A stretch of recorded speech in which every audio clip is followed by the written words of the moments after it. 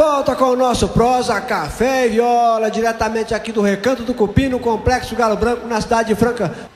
Voltando aqui com Faciroli e Teófilo, né? Mais uma moda. João Mulato e o Praiano uma vez gravou essa fita lá em Uberaba. É, não é gravado nem Entendeu? Num radinho lá. E eles pegaram essa fita nós, e nós ouvimos, gostou aí e aprendeu a música. Mas É isso aí. Nem sei se é gravar, se é, já gravou, se não é. O negócio é cantar, coisa boa tem que cantar. Chama. Não Não, passou de um sonho. não passou de um sonho.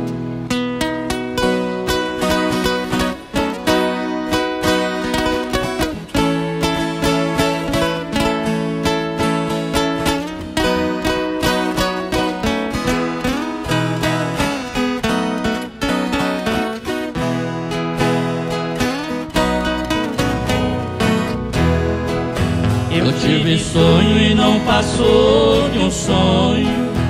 Em nossa casa irmos juntos morar. Com todo amor me entreguei a você. Todo meu sonho era não nos separar. Até fiz planos pra ajudar a criar. Teus lindos filhos era um encanto. Esse meu sonho foi por água abaixo Deixa em meu rosto só amável pranto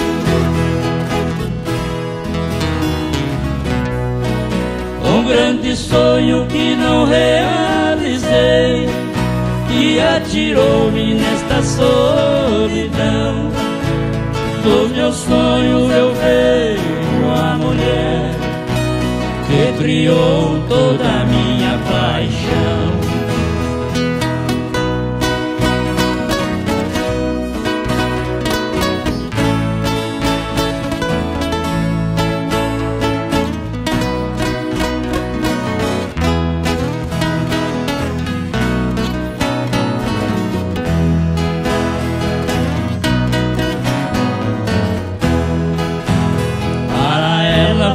mais uma aventura. Feito um bobo eu vivia sonhando. Eu levando todo o caso a sério. Enquanto ela comigo brincando. Até que um dia eu percebi. Ela de mim aos poucos se afastando. Será que nunca vai sentir remorso? Do dia em que voltei pra casa chorando. Um grande sonho que não realizei E atirou-me nesta solidão No meu sonho eu vejo a mulher que criou toda a minha paixão.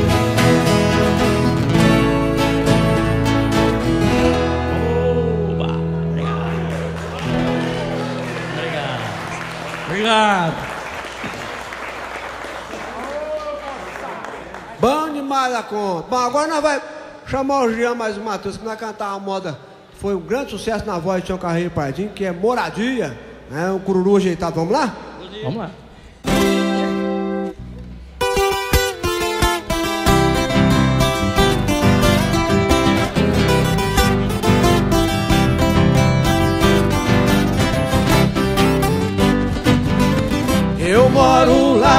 Recanto onde ninguém me amola. Numa casa ao pé da serra mora eu e a viola. O sapo mora no brejo, sabia na gaiola. Minha voz mora no peito, meus versos na cachola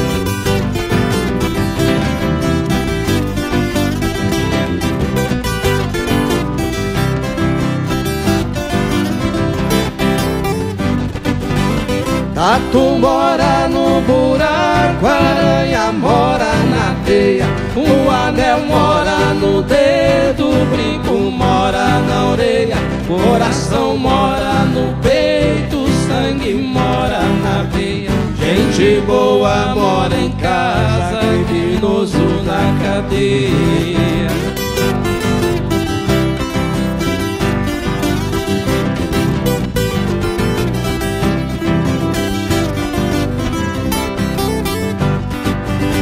Porco mora no chiqueiro, boi mora na invernada, pescador mora no rancho, boiadeiro na estrada, boêmio mora na rua, sereno na madrugada, a lua mora no céu e o vento não tem morada.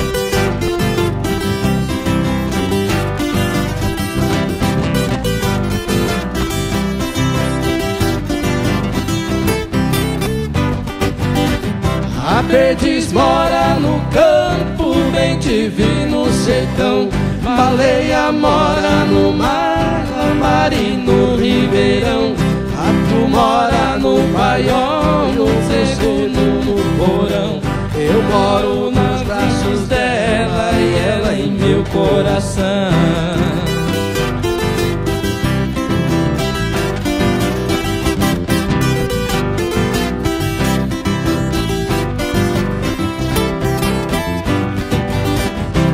Palhaço mora no circo, a rima na poesia. O Irapuro lá na mata, na festa mora alegria. O rico mora no centro, o pobre na periferia. Um casebre em Nazaré, morou a Virgem Maria.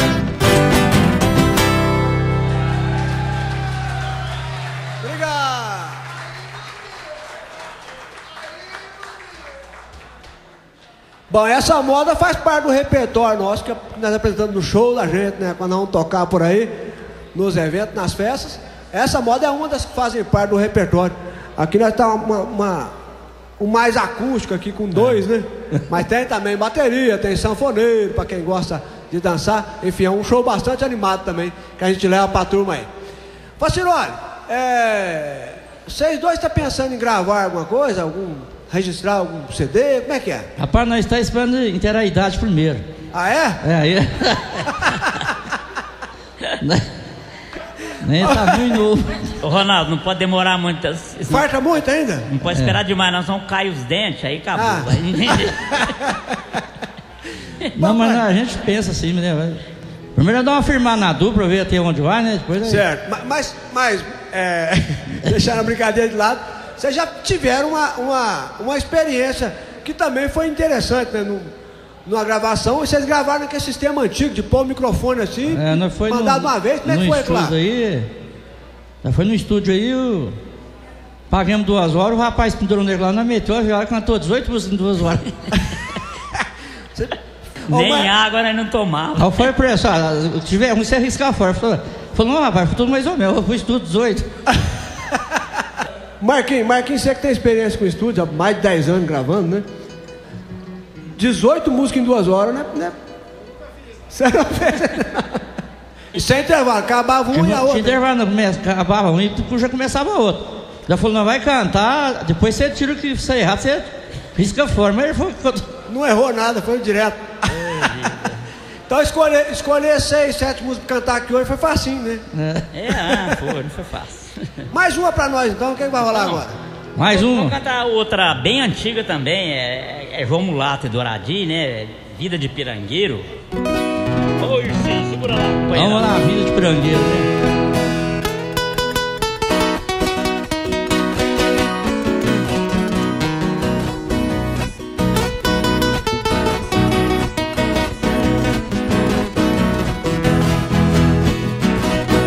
Eu tenho a minha canoa para fazer pescaria.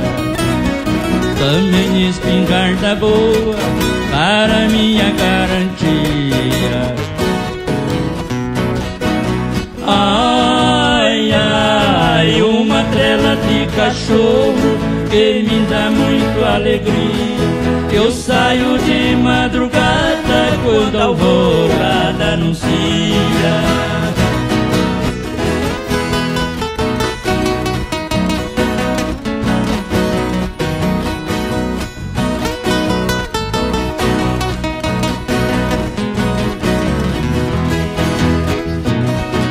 Quando eu chego no cerrado é aquela correria Solto os cachorros no rastro, vou esperar na travessia. Ai, ai, cateto rangindo os dentes, sai do mate rodopia. Quando deita na fumaça, com a minha pontaria.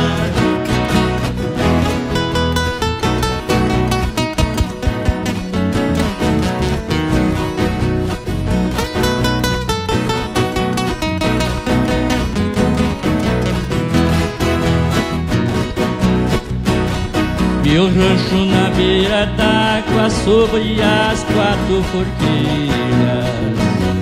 Para fazer minha pesca, minha estrela eu sei que brilha Ai, ai, lá no bolso do engazeiro Que tem peixe sem quantia Deixo a linha de espera pra tirar no outro dia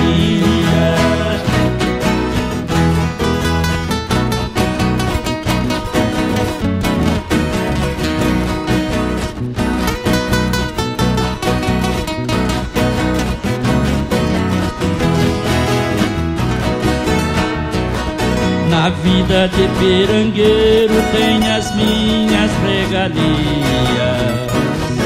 Também gosto da cidade com as suas fantasias.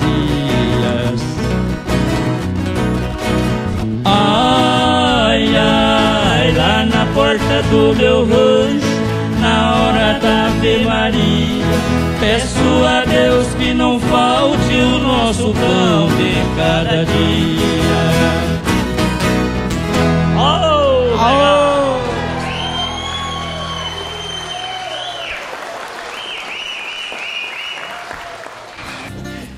E Biela de Rio combina também com café, não combina? Ah, combina. Combina, né? Ô, rapaz. Então vamos tomar um cafezinho? Vamos. Opa. Então vamos? Vamos tomar um Bora um café. cafezinho aí, gente? Então, no oferecimento do Recanto Cupim, vamos ao nosso cafezinho.